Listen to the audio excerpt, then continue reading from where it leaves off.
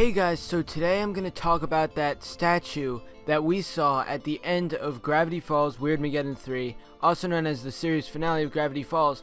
Now, we thought that Gravity Falls was over and the show is over, but there is still one big mystery, and that is this statue.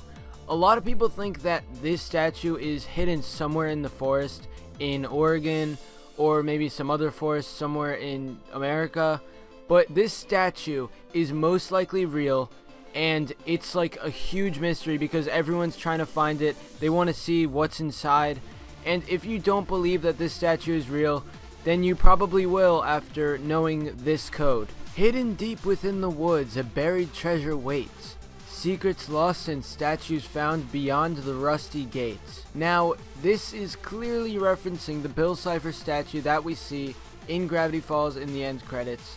But this doesn't really give us many hints as to where it actually is. We just get that it's in a forest and it's beyond the rusty gates.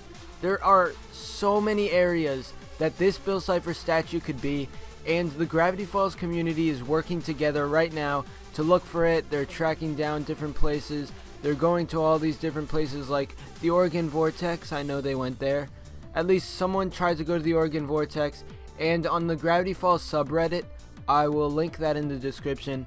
There are a lot of people working together. They're marking down where they go and telling their findings to everyone else. It's basically like a huge mystery. It's a hunt in the Gravity Falls fandom. And if you are in the Oregon area, then you could go out into the forest. You could go looking for it as long as you're like close to home. But if you're not in the Oregon area, there's still like not many hints as to where it actually is.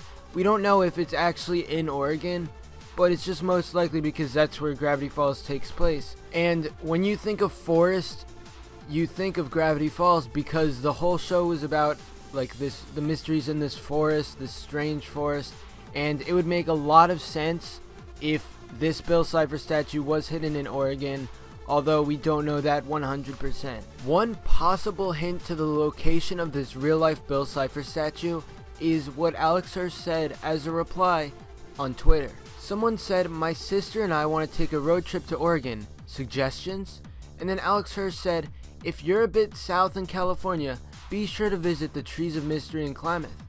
Now, this could clearly just be something that doesn't relate to the Bill Cipher statue at all, but this place is a tourist attraction and it's probably in the forest because it's Trees of Mystery.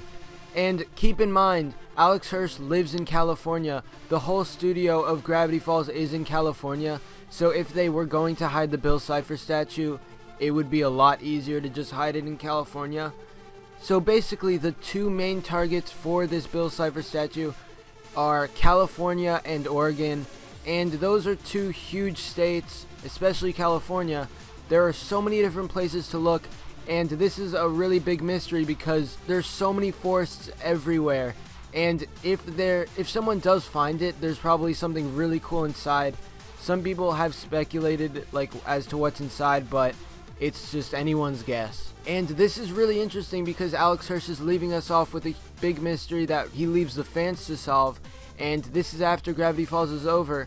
So now that you know about this real life Bill Cipher statue mystery if you're in like a forest area, you can go out looking, or you can look up on the Gravity Falls Reddit and you will see the progress of this hunt because a lot of people are searching. This is really, really awesome that the Gravity Falls crew decided to do this.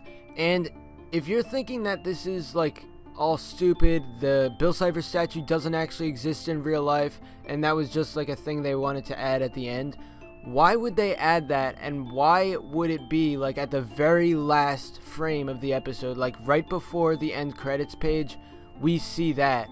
Why would we get that? And that must be important because there would be no reason to show a real life Bill Cipher statue and play that like mysterious music that played as we saw it. And it just gives us a sense of mystery. We can go out and look for that ourselves. We can work together with the Gravity Falls fandom and try to find it and there's a treasure inside probably. So if someone in the Gravity Falls fandom does find it, it's going to be really awesome to see what's inside. And someone might find it a really long time from now, someone might find it soon, but I just wanted to make this video to tell you guys that this is a real life hunt and it should be really awesome to keep up with the journey. So go to the Gravity Falls Reddit, see the progress, comment below and tell me what you think of this video. Thanks for watching, and I'll see you guys next time.